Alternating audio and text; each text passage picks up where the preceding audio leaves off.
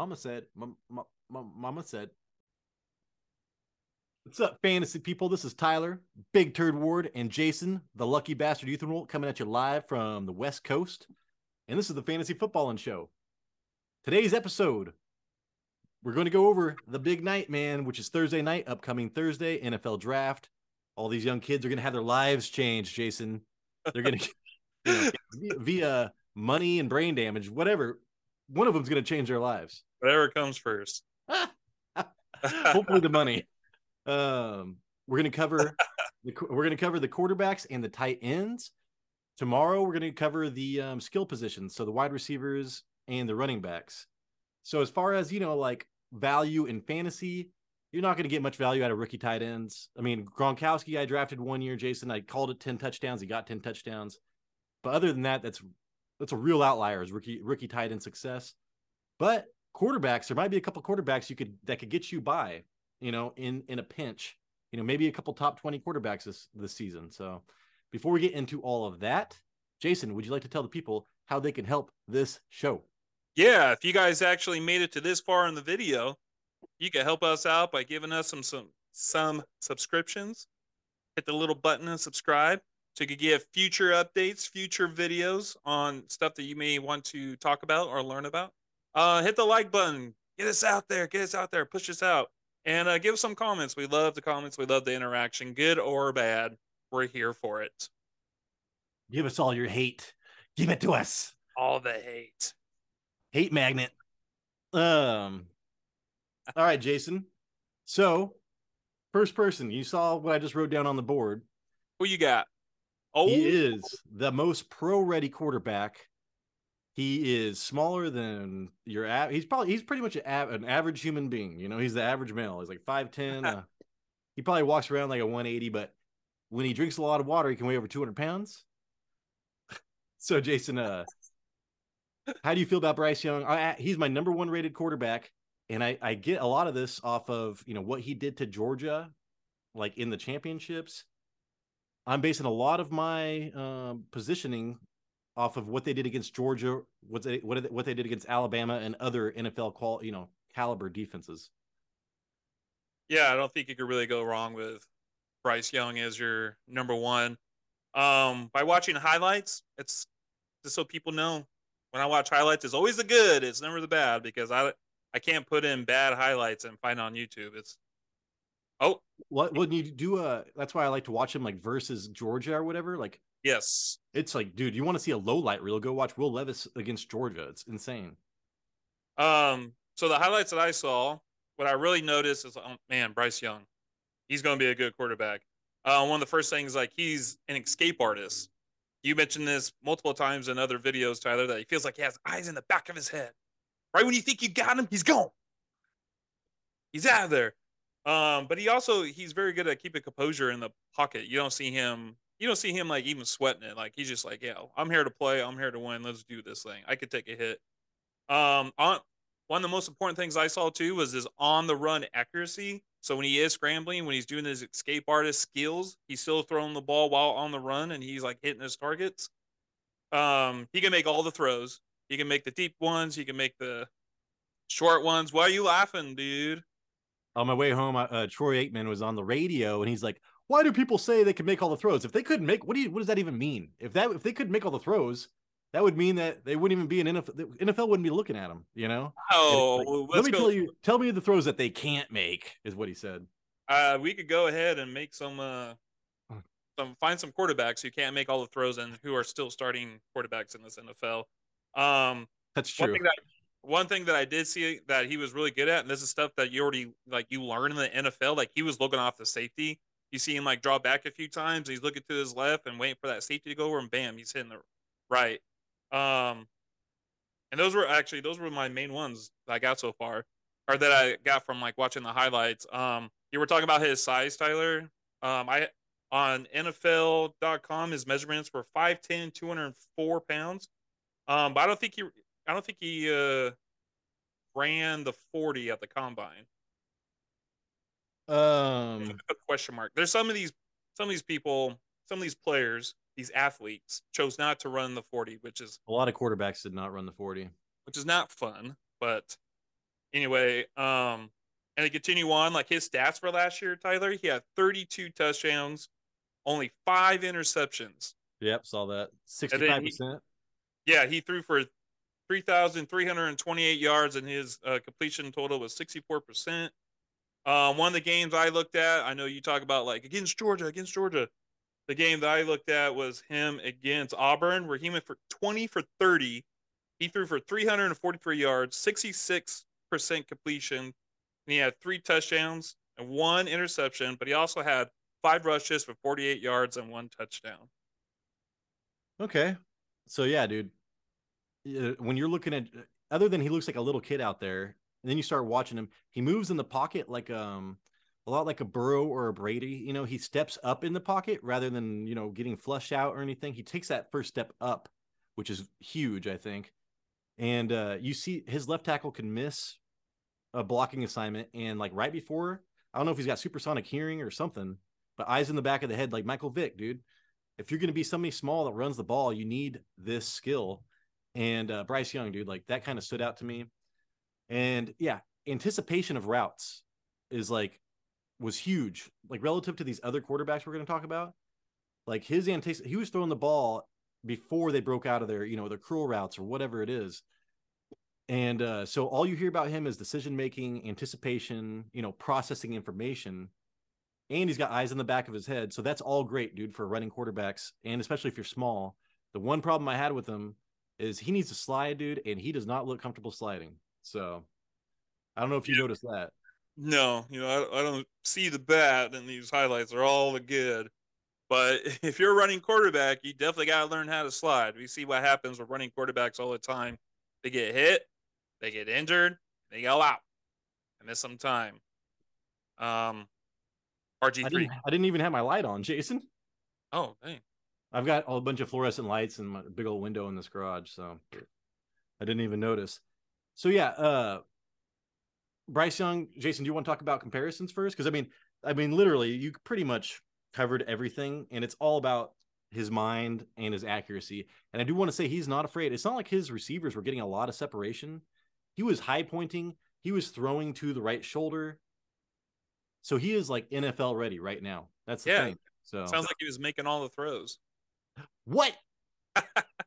so it's Troy, like, what is he? Some Hall of Fame quarterback? You don't know. Oh, dude, I, I try to listen to him and Carson Palmer are making the rounds today. Um, um, okay, so who's your comparison, Tyler? Mine is uh Joe Burrow. Like I said, I like how he moves up in the pocket and his anticipation and his accuracy. So it's like he's I don't think he's going to be as good as Joe Burrow is. I mean, that's saying a lot. It's like saying somebody's Patrick Mahomes or something. But I mean, dude, give me like um, you know, like if if Joe Burrow's an A plus, he's going to be like an A or A minus with a lot of great qualities. But Joe Burrow is I don't know six three, you know, two hundred something pounds, and he also runs a lot like this. So that Joe Burrow was my number one. That's what I thought of when I thought about all those things. My comparison that I had was Russell Wilson. Uh, Russell Wilson's you know, known for being an escape artist, and he's accurate. And he's he's great at the deep ball. Um, and Russell Wilson was 5'11 and 204 pounds at the combine, and ran the 40 in 4.53. Um, I see a lot of, and like you said, Tyler, Bryce Young likes to step up in the pocket. Russell Wilson likes to step up in the pocket. Um, and that was my comparison. And we've seen the type of careers that both players are already having in the league. So yeah, so can't go wrong. I don't think he's like, you know, he's not a Joe Burrow caliber. And, you know, Patrick Mahomes, nobody believed in Patrick Mahomes, Mahomes when he was coming out. But as far as like, you know, it's not like he's Andrew Luck coming out of college or something like that. And it's mostly because of his size. If he had the size to go with it, he would be up there with, you know, Andrew Luck and such. Mm-hmm. So uh we got some we got like seven teams at least that have um they may need a may need a quarterback in this draft. Texans, Colts, Panthers, Raiders, Commanders, Falcons, Titans. Um, that just to name some. Who are you thinking that this guy might fall down to? He's not going to fall anywhere. He's going yeah. number one. Number uh, one to the Carolina Panthers. Yeah, and uh, there's been Will Levis uh, betting odds went like from like plus five thousand to plus two thousand to plus five fifty today. So there is a lot of smoke probably the Colts or something. But a lot of people are trying to get CJ Stroud. or Bryce Young to fall. And there's no way I'm believing any of that, dude. All I believe is that, um, and it's consensus among coaches when they're polled or whatever. Bryce Young's going to go number one to the Panthers. All right. Next. Next, Jason, we are going to go over my number two quarterback. Is it weird that I'm sitting like this? my number two quarterback, and the only reason he's my number two quarterback, you know what? We'll we'll go we'll save that for my number three quarterback. CJ Stroud, Jason, Ohio State pumps out a bunch of quarterbacks that, you know, have not done too hot in the NFL. I mean, Kyler Murray's kind of whatever, but CJ Stroud is bigger than Baker Mayfield. He seems eh, bigger than Kyler Murray, and he seems to be a lot more mature than those those two as well. He he's my guy. CJ is my guy. Um, oh my gosh, when I was watching uh, CJ play, or when I was just watching the highlights, it was uh, brought a few tears to my eyes. Um, yeah, this guy and Bryce Young, they're kind of like the, the top tiers in quarterback. So, you know, there's a good chance we're going to see this these two players go one and two. Um, when I was watching CJ, like um, Tyler, he wasn't making all the throws; he was making tough throws he made he was making some tough throws. Um, now one another thing I saw was his accuracy. He, I felt like he was really accurate, and just like Bryce Young, he was uh accurate on the run, and once again that he was uh very composed in that pocket.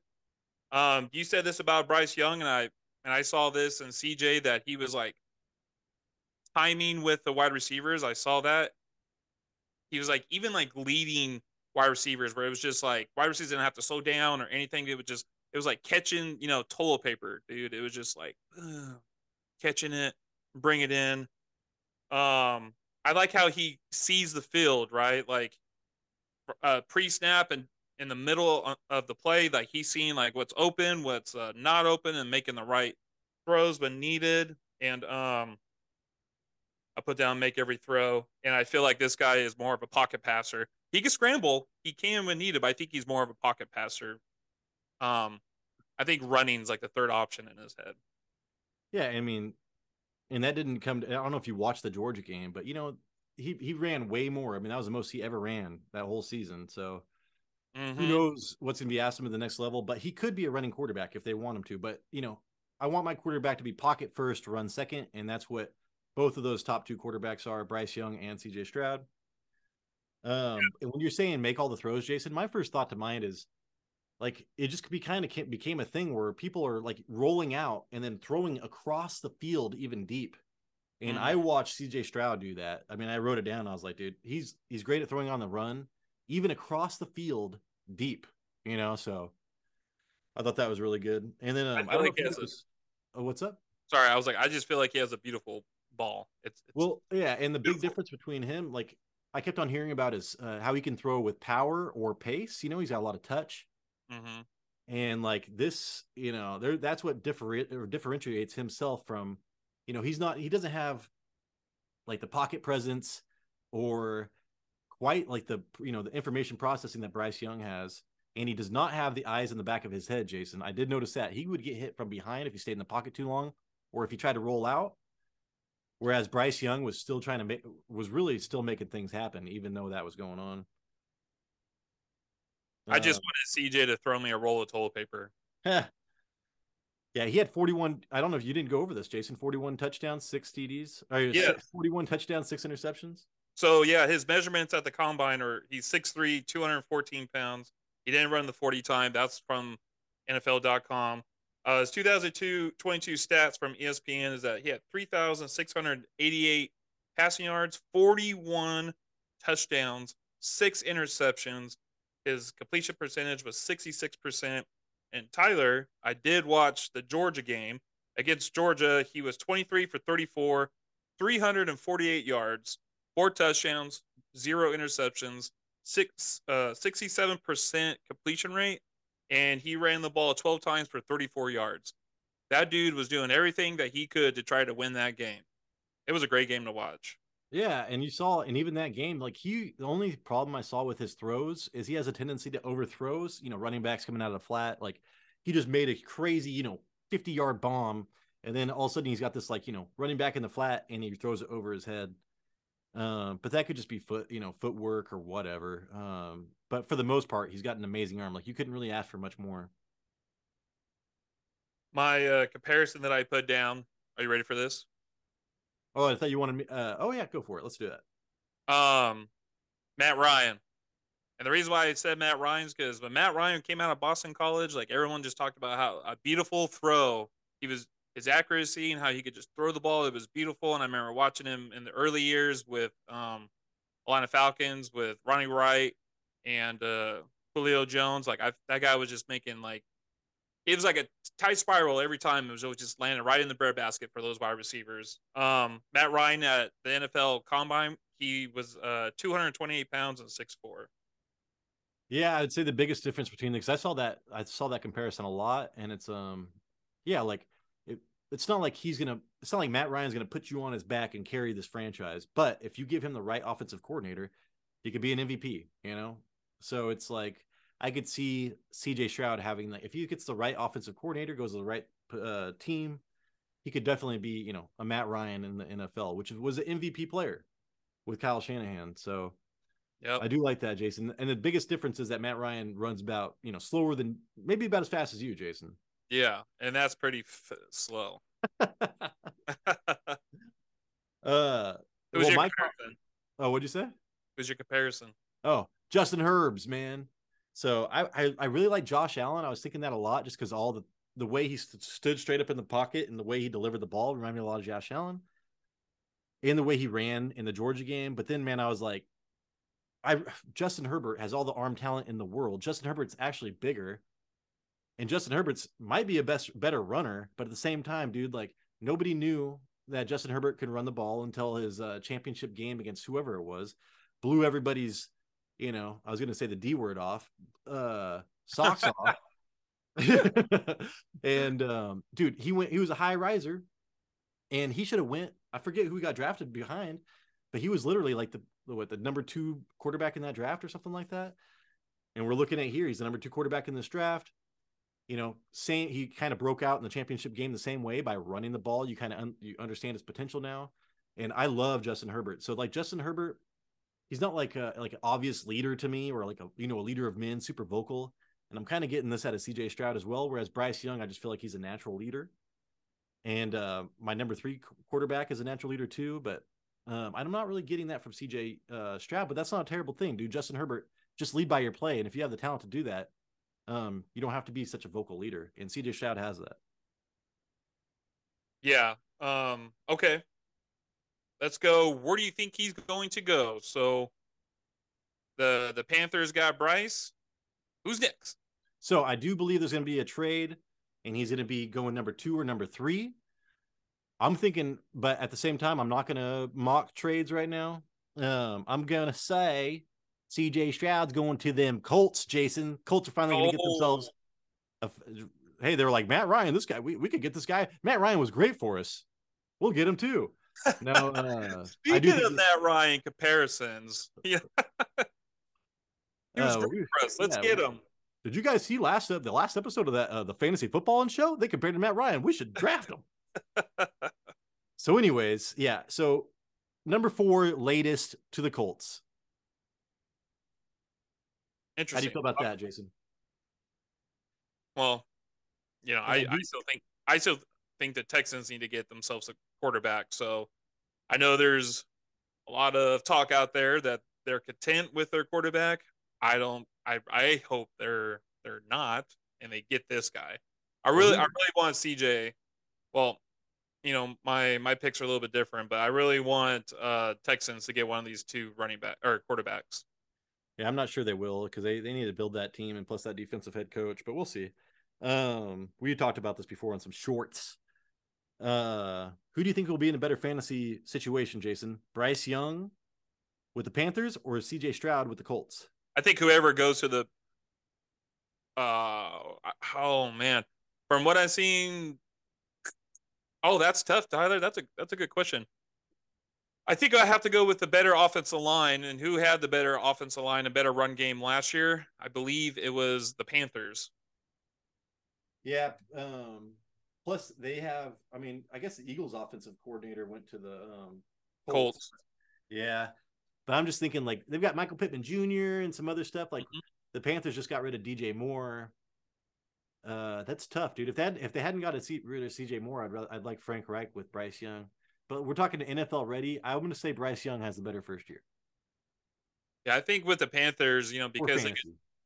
because they're they could rely on that run game so much, they probably won't need to um ask too much of whatever quarterback they draft. But you know, they did get Miles Sanders. They are heavy in the run game. The Colts, you know, they got the offensive coordinator Shane Stitch Steich from the Eagles. He's probably going to bring over that play style. And you know, Jonathan Taylor is one of the best backs in the league, and they also got Michael Pittman, who could be a number one if given the chance. And yeah, I like Michael Pittman. You just have to throw him the ball over and over again, and he doesn't get much separation, but he's still a really good wide receiver. Yeah. All right. all Mr. right, number three. I'm excited to know who this is, Tyler. dude this guy is, is a leader of men he would have been my number one quarterback jason had he not uh done so bad against um not so bad but he just he got challenged against um georgia i think he might have had zero inter- zero touchdowns one interception and like 100 and something yards so that was not great but man watching this dude play against everybody Peyton Manning, listen, uh, listen. I like to because you know I was like, oh hey, Hendon Hooker. I'm talking about my number three quarterback, my number three quarterback.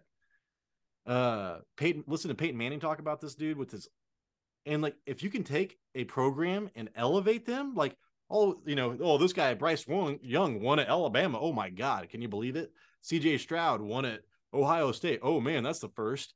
Dude, Tennessee has not been good since Vince Young, and here comes this dude this guy's awesome, man. All right, Jason. Uh, Sorry, I just wanted to go over my rankings. I'm just really excited about this. No, what, no, no. What do you think about Hendon Hooker? Okay, I just I just want to go in there and say Vince Young played for Texas. Dang, you're right. Uh, it's, it's orange. Uh, Tennessee. Who was the last person? Peyton Manning. I'm. I think it was, dude. yeah, was, it's uh, been that long. Been a long. Time. Thank you for correcting me, Jason. Yeah, I, I get it. I get corrected all the time too. So, um, we got all these players and teams in our mind. They all kind of mushed together. Um, did you did you have anything else? I'll talk about him, but I, I, I just wanted to say like my reasoning because I wanted to like preface it because this is like nobody has him as a number three. Right. Um, but I like Hendon Hooker. I like me some Hooker. You know, um, from what I saw, dude.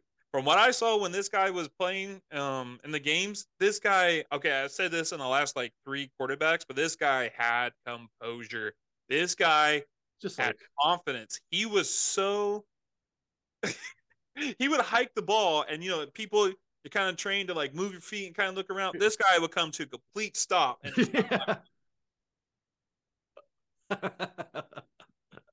Uh, and throw it to Hyatt, man. I was like, dude, this guy, he's got so much confidence. Like, it, it doesn't even matter. He's like, dude, if I'm not going to jump it around, I'm just going to lay here. I'm going to sit here. I'm going to wait for something to happen. I got time. I'm going to throw it. If I get hit, I get hit. I'll do the same thing next play.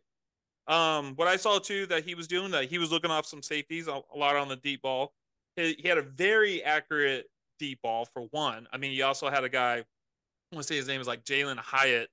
Um, he was a deep threat, you know, so he was throwing it pretty deep to him most of the time. And um, he was another one. He had a pretty he had a pretty ball. When he threw the ball, it, it looked it looked fancy. It looked pretty. I like the way that he his mechanics of throwing the ball. Um, his measurements, Tyler, is 6'3", 217 pounds. And you know, of course, this guy didn't participate in a 40 yard dash because he tore his ACL in like October, November.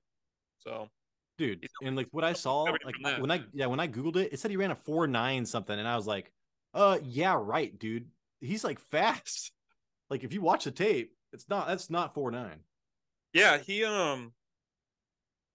So for his before he got injured, he was having a pretty good year. He already threw for three thousand yards, three thousand one hundred thirty-five yards. He had twenty-seven touchdowns. He only had two interceptions, Tyler, and his um, completion percentage sixty-nine percent. woo This guy was completing the ball. Um, you know, he did have some like tough games, but and then you know he got hurt. Um, the game I'm looking at here is against Florida. He was 22 for 28, 349 yards. He had two touchdowns, zero interceptions. Tyler, that's a 78% completion percentage. And if I'm seeing this right, I can't remember I did this correctly, but he rushed the ball for 13 times, 112 yards, and a, a touchdown. So two in the air, one on the ground. And man, and it, he makes it look easy, Jason. Like yes, and talk about accuracy, anticipation. Uh, I, I, you know, he does. He throws those rainbow balls, and I the only yes. bad knock, yeah, the only knock I could really say is like on some of those some of those deep balls he zips in, and I really like it. But on some of those rainbow balls, when he goes deep, he'll underthrow like. But a lot of those cornerbacks in the um, college were playing the ball; they were kind of lost, and he had he has he had two really good wide receivers so they were able to you know find, locate the ball and grab it but uh, that's not going to work in the nfl so much so he needs to get some of those rainbow ball stuff down um but dude when he zips it and he has touch as well like he, he reminds me so much of cj stroud when he throws the ball uh but i like him better running and he's just kind of like a magician like you know you think a play is breaking down and you think like he's going to get sacked all of a sudden he just flings the ball out and it's like dude there's a guy open running a slant somewhere else and it's just because he stays in the pocket like so long, man. It's crazy. yeah. Yeah. Uh, but and he also, Jason, you know how I really I really liked how Bryce Young steps up in the pocket. CJ Stroud's more of a uh, you know, horizontal guy. This is a step up in the pocket guy as well. So like if it wasn't for the injury and the poor performance against Georgia, I would literally have him as my number one quarterback. Uh because you know he's got the size and a lot of the same qualities as the top two guys kind of blended. Yeah. So who'd you have uh, for your comparison? Well, Jason, where is my comparison for Hendon Hooker? Oh, prime, because prime Russell Wilson, because prime Russell Wilson would hang in the pocket and then just throw some rainbow balls out deep, and then you didn't realize this guy was super open, running down because he's off of the screen of the you know frame of the screen. What I'm trying to say, um, but he's tall. So it's like he's like a talented, a more talented Russell Wilson, man. I love Hendon Hooker and his decision making, just like you know Russell Wilson had great decision making. We're talking prime Russell Wilson here, and uh, he could bring you back like out of anything. I could just see Hendon Hooker not being like um, he does not look like you can put him down. Like even when he's down, like uh, against Georgia, he was down like seven to twenty something. Like I can't remember what it was. Like he keeps on coming back, and his team plays hard for him. He looks like a leader. I don't know, dude. I really like him. He's because Russell Wilson's kind of a DB, you know, like he nobody ever really liked him that much. This is like a cool, tall, prime Russell Wilson. Yeah, he is pretty cool. When he came to my birthday party, he brought some cake. That was a um, di- that was a different hooker, Jason. Oh, different hooker. but, uh, that was me sliding down the pole, but the pole's right apparently made out of rubber. I don't know. Um, my comparison is I had him with Teddy Bridgewater, who's 6'2", 214, who also did not run a 40 at his combine. Um, and the reason why I'm saying that is because I love Teddy Bridgewater mechanics. When he came out and was playing for Minnesota, I really enjoyed watching him play. Bridgewater looked like he had the confidence like this guy did in the pocket. There was a few times where Teddy Bridgewater would can go to a complete standstill and then just like beam it over. Um, and they both tore their ACL. So match made in heaven. Yeah. Um yeah, dude. I understand that. Uh w- when I was watching, I even told you when we played games that night. I was like, dude, Hendon Hooker reminds me so much of um Teddy Bridgewater. It's just like the way he runs and th- everything kind of about him. But then like I don't know, the more I watched, I think he's I think he's actually better than Teddy Bridgewater. But I totally get it, dude. Like those are the first two th- people to my mind. And then um Oh, and where do I think you want to ask me where I think he's going to go in the draft? Yeah, so I don't know about you. I'd be very surprised if this guy goes in the first round, and that's just because of his injury, and he's already 25 years old. Um, but that being said, you may have a different uh, feel on it. Do you think he might go somewhere in the first round, and, if so, to who? Yeah, um, I think the Seahawks at number five should pick him up, dude. Oh, literally but they also have the number 20 pick as well. I do not think he's going to make it past pick 20, Seahawks second pick. But I, I more than likely think that the Titans are going to draft this dude. I know they they got Malik Willis, Willis last year, but this guy is so much like if you watch this guy's accuracy, I mean everything I just said, man, about him, or we just said, he's a different player than Malik Willis with a lot of the with a lot of the same upside as far as rushing goes. So I think that they're going to bail on Malik Willis a little bit and, and draft another quarterback. And Peter Schrager is the guy I like most usually as uh, far as NFL uh, mock drafts go. And I checked his and he's got the same thing. Yeah, this guy totally seems like he will fit in the Pete Carroll offense. Dude, but uh, when we come back, all right, guys. so we went over our top quarterbacks. We've got Bryce Young at the top. We've got CJ Stroud number two, and that we have Hendon Hooker number three. But like we, said, but I mean, this is just mine because you know Jason's got different rankings. But for the sake of the show, I'm hosting it. We're just going by my rankings. But like I said, dude, Hendon Hooker should have gone. He's a blend of the first two, and if if he had no injury and he did better against Georgia, he'd be the number one quarterback. So don't forget about him. Go listen to Peyton Manning about him. Anyways, we're gonna hit up the next uh, number four and number five quarterbacks, and then we're gonna run through the top three tight ends when we come back. So should be one more episode. Stick with us, please. Okay. Okay. We back, people. We back. Going over the quarterbacks. Cutting no slack.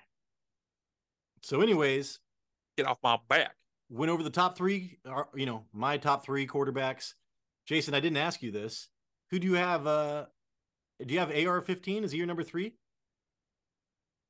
Yes. AR 15, three AR 15. Yeah, I have him as my number three.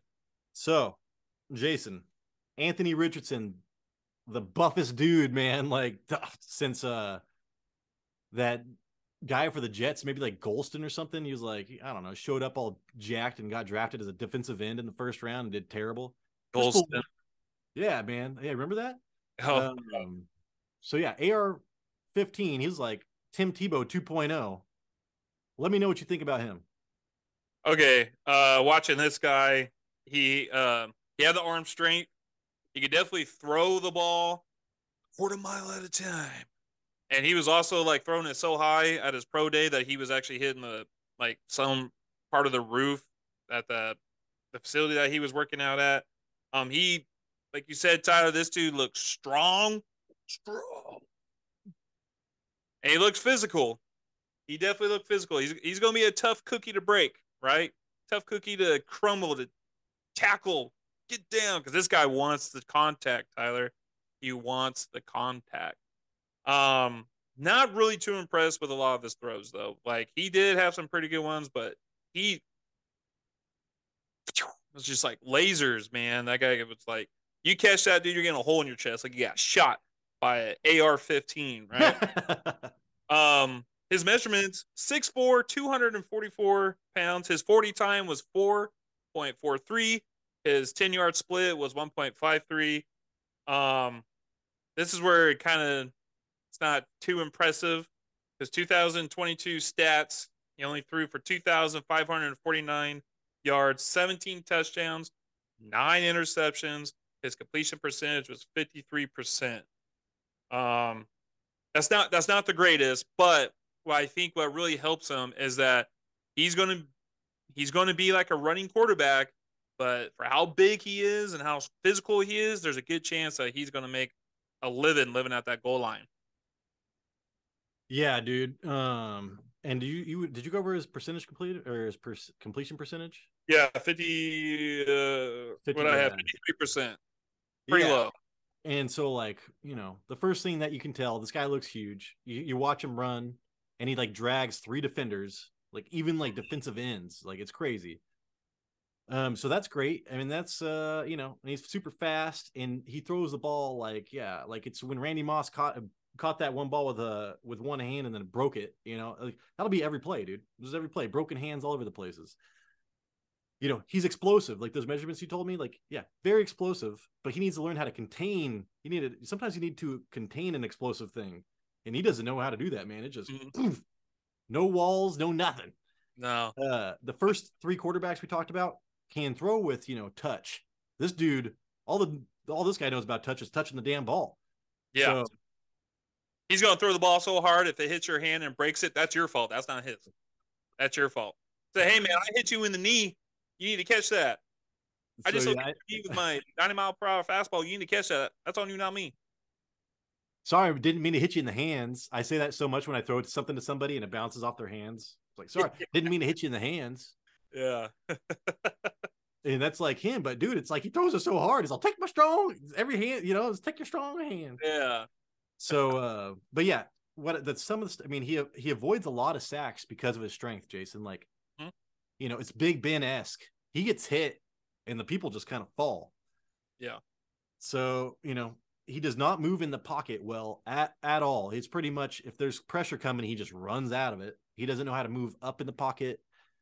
You know, like Hooker and Bryce Young. He's more of that lateral guy like C.J. Stroud, but even like, but he's he doesn't hang in there like C.J. Stroud and um, he's indecisive, which causes a lot of interceptions for him. So he's holding on to the ball, just kind of like, oh, should I throw the ball? Should I throw it? And then he throws it, and somebody else catches it, you know, on the other team. So, Yeah. yeah, I think he's like uh he he's he's a running quarterback who doesn't want to be a running quarterback. So he focuses on trying to throw the ball first, even though he already knows in his head uh, he's going to run the ball. So he sit there very unsure, like ah, ah, uh, it's like running throw. I don't know. But you're completely right. He's going to be hard to like bring down. He's going to have. He could go to a, a team that has struggles on the offensive line, and he could be the quarterback because he's going to be able to take a beating for a couple years as they whatever team he goes to like improves on the offensive line. He could have success, you know, but he's going to mainly get his success on the ground. and you watch him versus Georgia, and it looks like he's lost. Like how Malik Willis, he, you know, when he got to start, it looks like he is like he doesn't know how to play quarterback. It's almost like he's a super buff Malik Willis, man. So it's like it's very scary because he's got one year in college. You know, that's or as one year as producing as a starter. Um, he, we for me to like want a quarterback that this I don't know, dude. It would scare you anymore. I guess it would scare you even more if he was this bad in the second and third year. So maybe that's what people are thinking about. But when's the last time, dude, a guy has had it's like it was it's pretty much like the Trey Lance experiment. Like this guy has only, you know, started one one season and he killed it. I do like Anthony Richardson in the right place, Jason. It has to be in the very specific place. Yeah. And he cannot play immediately. Like he's gonna get it's gonna be Malik Willis, dude, out there. It's not it's not gonna be good. Um, one of the games I had his stats from is um, against Tennessee. Um, he was 24 for 44, but he threw for 453 yards. He had two touchdowns, one interception, but his completion percentage is 54%. Uh, honestly, if you're throwing the ball 44 times, I'm expecting you to have over a 300 yard game. But he also ran the ball 17 times for 62 yards and two touchdowns. So, like I said, those two touchdowns, you're gonna you're gonna get a lot of scoring opportunities with him at the goal line running the ball. Um, can I go in my comparison? Yeah, and I just want to say, like, as a Vikings fan, because I know the Cowboys don't don't need a um a quarterback, but like, I would be kind of disappointed if my if my team drafted a quarterback like Anthony Richardson in the first round. Yeah, yeah I think at draft day you might get some some booze, some booze. Who's But your comp, Jason? my comp,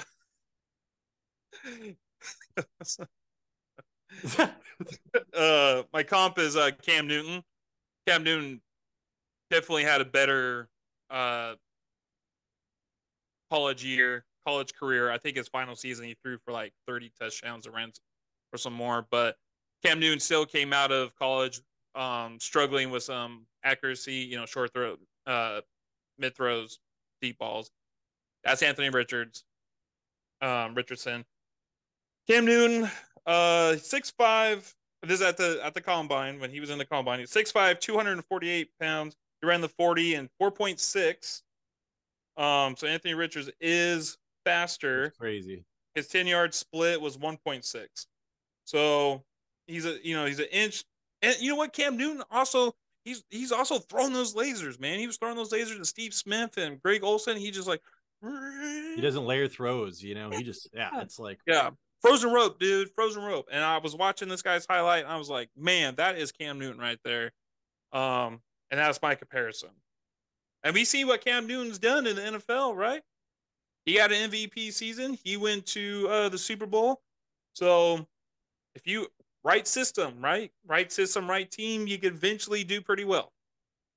Yeah, and uh, my comparison, Jason, six foot two, two hundred and forty pounds, but he had four years of Syracuse.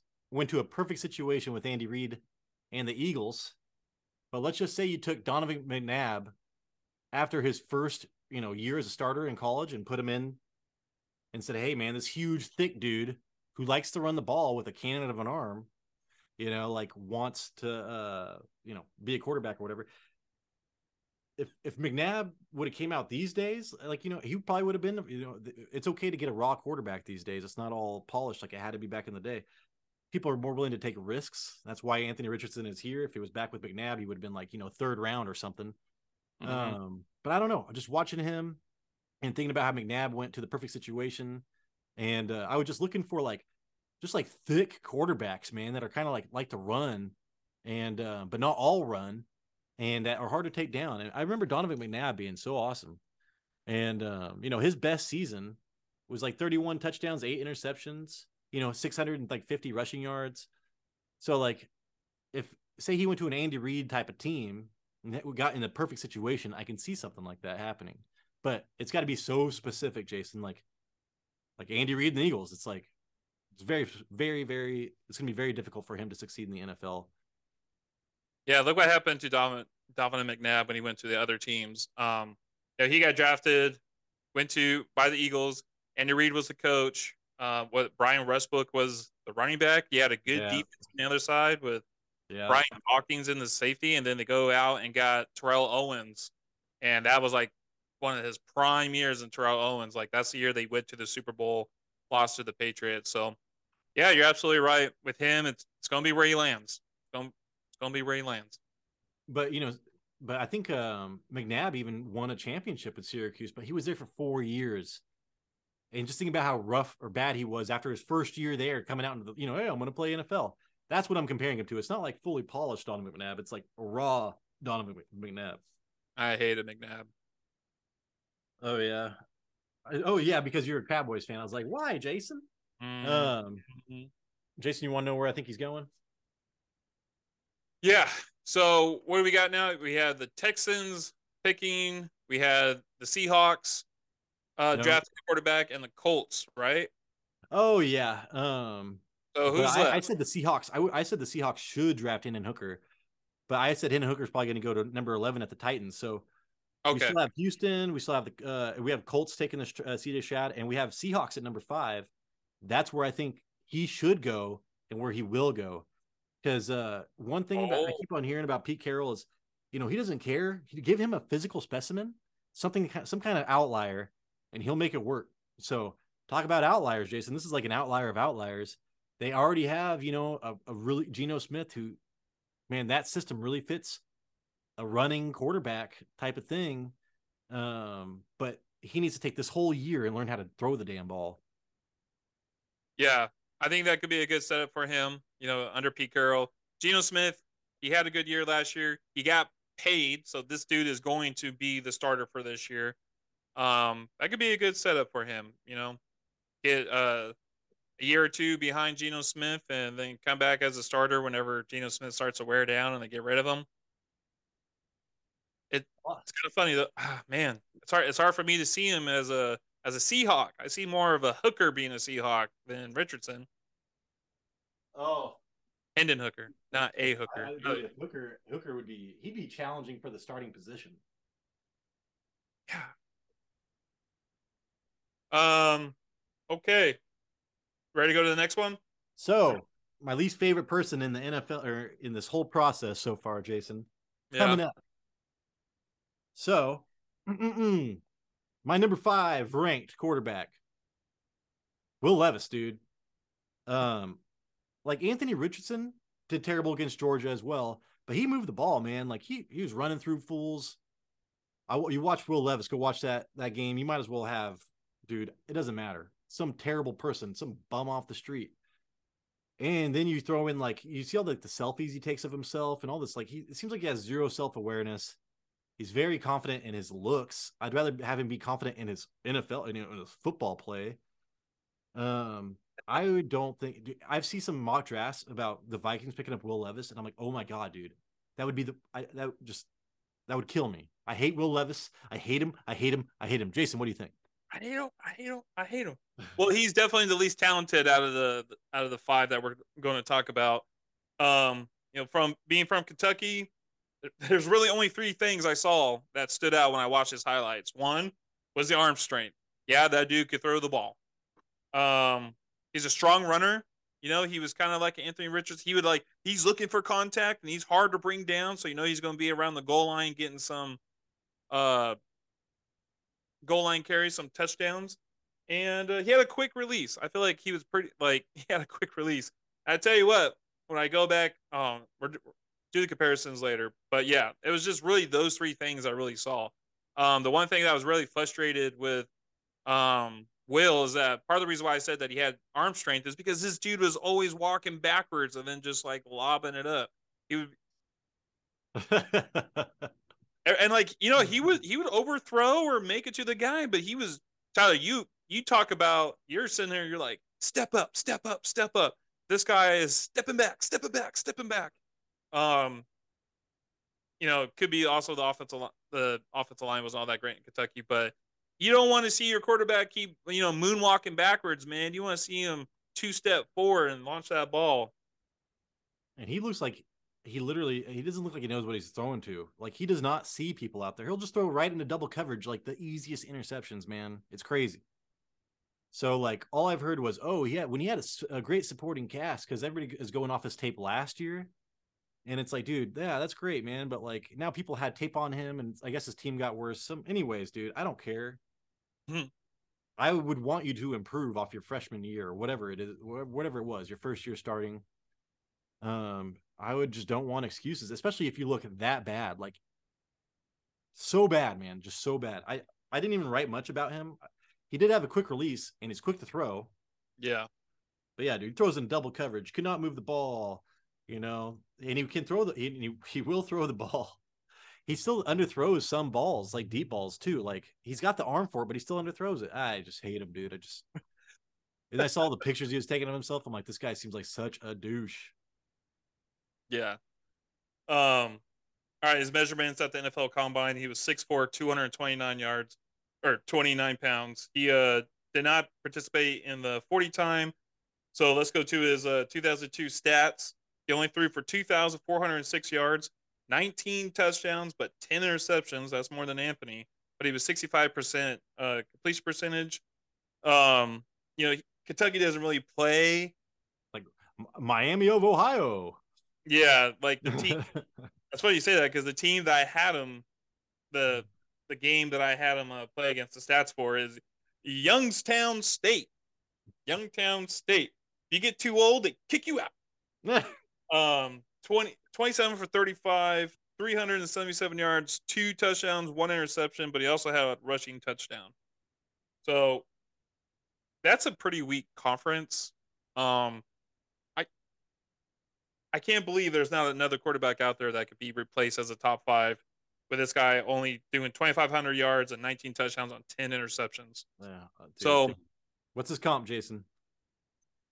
Coming out of college, this guy reminded me a lot of Mr. Josh Allen, who struggled with a lot of this stuff, but also, you know, we see this like tall guy, power guy running the ball around the goal line. I was like, is that Will? Is that Josh? They look identical. Um, Josh went to the uh, combine. He was 6'4, 237 pounds, and he ran the 40 in 4 4.76. You know, I see a lot of the stuff that um, Josh Allen struggled with in college, but he did have the quick release. He did. Um, he was a strong runner, and he also had the arm strength. And another reason why Buffalo drafted him is because he he's used to the cold, right? I don't know how cold it gets in Kentucky, but I don't think they're going to be able to use that for Will. So that was my comparison. Mine, Jason, is a uh, an uglier Daniel Jones. So no, he's a buffing. He's a buff Daniel Jones, but dude, Daniel Jones is this like supreme athlete. I mean, he was a basketball player. Look at that full run. He had like the fastest uh, the fastest run speed in the NFL for a long time last season, and maybe it was the season before. And it, we're not talking like rookie year Daniel Jones who did okay. We're talking like year three Daniel Jones, who like they were going to throw out the building, like terrible decisions, but a great, you know, tall athlete. You can make, you can throw the ball really well. It's just, dude, terrible decisions, like no confidence, and just wants to run the ball. I don't know, man. Like that's, and he also like has the brain. He's like Daniel Jones. I like as a person.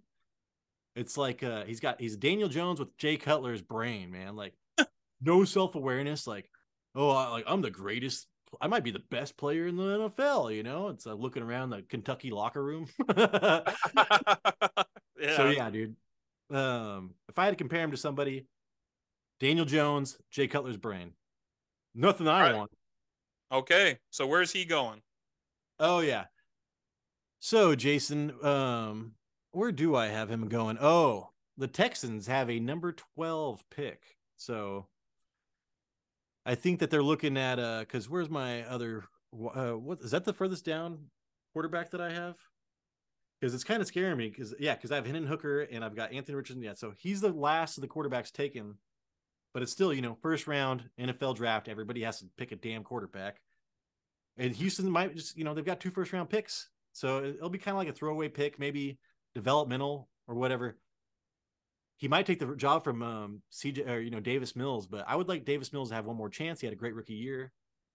Um, and as far as fantasy goes, Jason, I would I want no part of Will Levis in Houston or yeah in Houston. Okay, I got a question for you. Maybe you might know this. When the Buffalo Bills drafted uh, Josh Allen, who was their coach? Was it, it was it uh it wasn't Sean McDermott, huh? No, I'm wondering if it was. I think it was. I want to say it was Sean McDermott. Okay quarterback. Because Brian or... Daboll was the offensive coordinator, and he was the one that developed. Yeah, because Brian Daboll came in with Sean McDermott and developed Josh Allen. All right, with a so that's a defensive coach. Like uh, Mike, Brian Mike, Daboll is a brilliant freaking. We, we discovered how brilliant Brian Daboll is offensively, though. Maybe the offensive coordinator for the Texans just need another Josh Allen to work his magic on. My whole point was that uh, DeMeco Ryan definitely a defensive coach and you're saying that there's a chance they may go, um, Will might go to them in the 12th pick. It wouldn't, it wouldn't surprise me, you know? Yeah. I, at least they got a um, quarterback that they could work on, right? If they, I, if, I think Will, if they're getting Will, they they're going to have to be like, all right, we got to give this guy three, four years. But you know, I if but if I was um like I said, if I was Houston, I would take I would take Hendon Hooker or probably C.J. Stroud but they're but I totally understand their thinking. They're probably going to be in a top five next year too. So why even bother? Because like it's you want to take the risk on your you, like you feel like you must take a quarterback when you're the type of team that's not going to see the top five again. Houston's going to see the top five again, regardless who they take. Yeah. Um. all right, Jason. Ryan. Yeah. So we're gonna get into tight ends now. We're gonna go over two tight ends kind of in depth, and then Jason and I kind of both have some flyers. Um, two, you know, we're seeing like probably three tight ends in the first round. Some people have Jason, some people have mine as a third, but two are locked. Jason, the number one tight end, Michael Myers. Yeah, baby. you you go you go Austin Powers. I go. Uh, that's isn't that Jason or that is Michael Myers? Michael Myers. that's right because of that one movie. Uh, they had Michael Myers. So get Michael Myers mask. Yeah. Yeah, what movie was that? Gone and Oh, Baby Driver. Baby Driver. Yeah. Oh my gosh, that's hilarious. Okay, Michael Mayer of Notre Dame. Um this guy was a fun watch. He was it's great to see a tight end able to produce as much as this guy did and just like look great at just about everything that he did on the field. Uh, when I was watching him, first thing I noticed, big body. This guy's a big body. That big boy body. thick, thick. Damn boy, that boy thick. Yeah, and for that size and being a big body, this guy was running uh, wide receiver routes as a tight end, and I'm just like, oh my gosh, that's what you want. Route running is the key. That looked awesome. Um, and what another thing that I really love about this wide receiver is that he reached out to catch the ball. He reached out to catch it. He's not having it using his chest as a backboard, right? This ain't basketball. This is Notre Dame football. Go Irish not really. I, Notre Shame. I hate Notre Dame. Oh. Um, he reaches out to catch the ball, right? And then he also, when he would get the ball, you see a little shimmy. He does little shimmies. He's running. He catches it, turns around. He goes, oh, oh. I'm like, man, this big body boy running routes like a wide receiver and doing some shimmies like a running back. This guy, he's, he's super athletic for his size. Um, once again, I want to put down he had he had good hands. He was able to catch a lot of a lot of throws towards him. He was reaching out, grabbing them, or a lot of concentration. Um, he's strong. You can see he like he was hard to bring down like a Gronkowski, and he also was able to box out people in the red zone. I see when there was um to be like a little pass to the red zone, like from ten yards out, and that dude would just turn around, box the dude out, and like catch it. Um, this guy is going to be fun to watch in the NFL. Yeah, and for his size, Jason, I mean, six four and a half. So he's not a freak. He's not some you know physical freak. But man, uh, he lines up. They'll line him up as a wide receiver. They'll line him up in the backfield. They'll line him up literally everywhere. When he's in the backfield, he's mostly just blocking. Um, and this dude can block, man. Like he doesn't care. He'll block defensive tackles, man. It doesn't matter. Uh, and he finishes his blocks. You know, he like drives people down to the ground. So I think he really likes to block. You know, like a George Kittle or whatever. And uh, what you said about his route running really stood out to me because like he gets no separation, dude. And if he ever does get separation, it's like because he has some really good footwork at the end of a route, you know, like where he comes back around real fast. But he's got that spectacular catch icon, Jason, under his player name. So if you just hold X, that fool like reaches up and grabs it and brings it down every time. So yes. that is a thing that I like to see in tight ends is a spectacular catch icon, and he checks that box. Yep. Um, his measurements, you said already, 6'4, uh, 249. He ran the 40, 4.7, and his vertical was 32.5 inches. Um, his 2022 stats was 65 receptions for 809 yards with nine touchdowns, and he averaged 12.1 yards per catch. Uh, part of the hmm. reason why I hate this dude is because, gosh, oh, there's like two games like this is like just very frustrating. Um, I had him watch him last year, beat up my USC team. He had eight receptions, 92 yards, and two touchdowns, and he averaged 12 yards per catch in that one too. Yeah, I think USC probably had the worst tight end defense in the country last season. Um, and you're calling you're calling out the stats. I do want to say one of the most important stats to me for tight ends in college is targets per game. Because I mean, dude, if you're a really good tight end, you're going to be like the focal point of that offense and he led the he led the the league or you know call he led college with 8.8 targets per game that was number one. Oh nice. Yeah. Yeah i will i will love for my future nfl tight end for fantasy football reasons to get eight targets a game. That'd be great. Right. Jason what is his comp? I really liked your comp. I wanted to steal it. Really? I didn't think you really liked my comp. Well i thought about it for a long time and i was like yeah. I mean, as other than blocking, like you're right about a lot of it. Yeah. So and my size comp, and size. My comp was Tony Gonzalez in his prime because Tony Gonzalez was a freak of nature, and that guy was doing the same thing. Tyler, he had the spectacular catch icon. He was running routes like a wide receiver. He was quick. He was boxing people out. Tony Gonzalez was an ex uh, college basketball player. Um, when Tyler Thigpen was throwing uh, Tony Gonzalez the ball like on every other play, it was just it was art to watch. And I was like, this is what um, Michael Mayer looks like because he every time I was watching it, I'm seeing the ball go to him. dude. Tyler, uh, what was his name? Tyler Thigpen. Tyler Thigpen. I had, I think I got both of them that year. I, I swear to God, dude, I think I went to the championship with that combo. Yeah, they they killed it, and it was like the same situation, right? Like they had no one else to throw the ball to, so yeah, you, you got you throw it to your big tight end, and you know Tony Gonzalez, he's a future Hall of Famer. He all these uh things that I noticed about Michael Myers, he's the same thing. And um, at Tony Gonzalez's combine, he was 6'4, 244 pounds. His 40 time was 4.83, and his vertical was 33.5 inches. Cool. So, Jason, like I said, that's a good comp. Um, I do think that Tony Gonzalez is like longer. But as far as just like kind of like, you know, not getting much separation and just catching everything, I do like that comp. Um, my comp, I wish I could use Gronk, but Gronk is like huge. Like he is so much bigger because you know Michael Mayer ran a four seven, Gronk ran a four seven, four six eight, but Gronk is twenty pounds heavier and like you know almost three inches taller. So it's like kind of got different vibes, but just by blocking wise and and spectacular catch wise, I with zero separation, I really wanted to say Gronk. Um, but Gronk just holds such a special place. I'm I'm gonna say even a, a better Jason Witten, Jason, because um the route running with zero separation and just catching everything, just being a vacuum, you know, like I felt like uh whenever I watched um what's his name? Oh yeah, Jason Witten, he he's not like the best, you know, physical freak.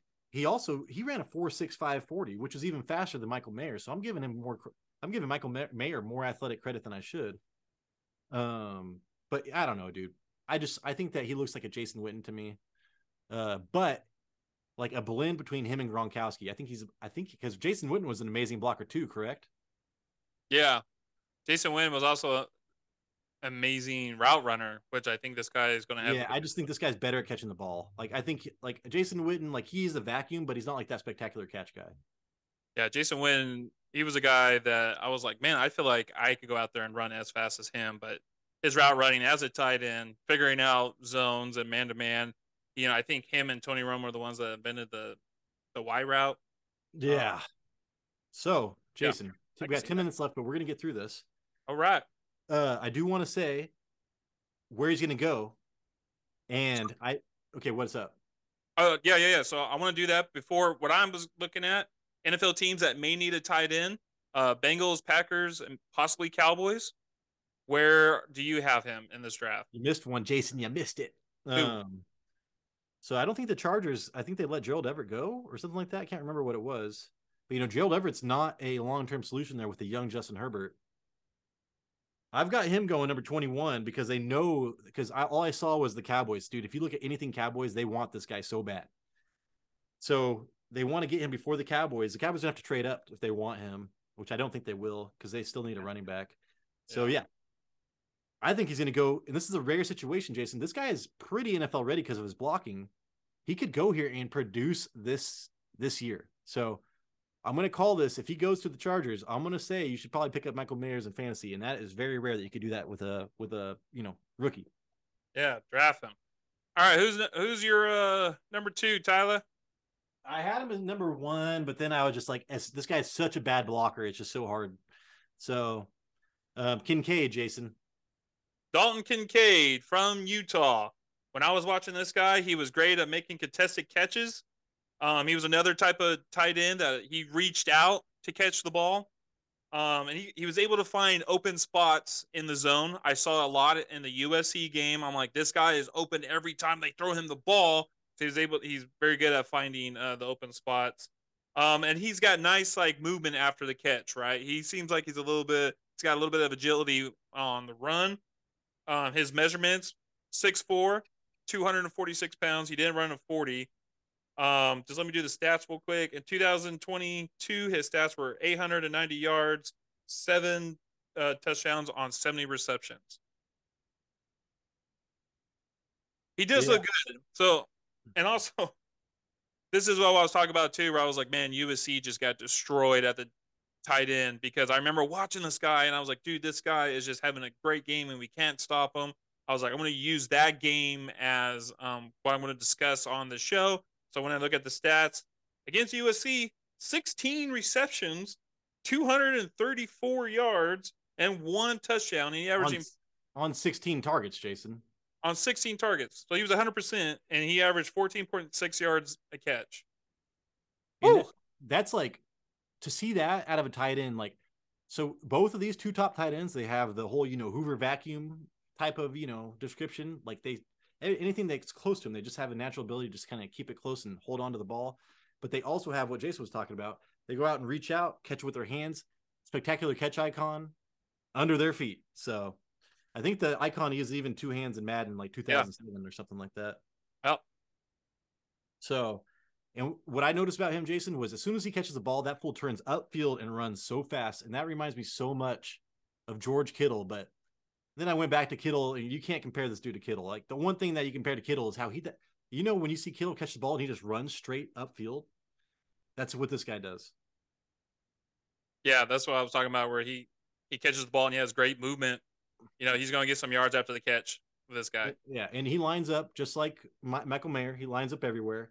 Um, but he's like Michael Mayer's mini me because this fool is like he's six four. I mean, he's probably built like dude, you know, 6'4", 215 or something. I can't remember what he was. Was it two forty? No, they gave him like two forty, but he does not six, look like it.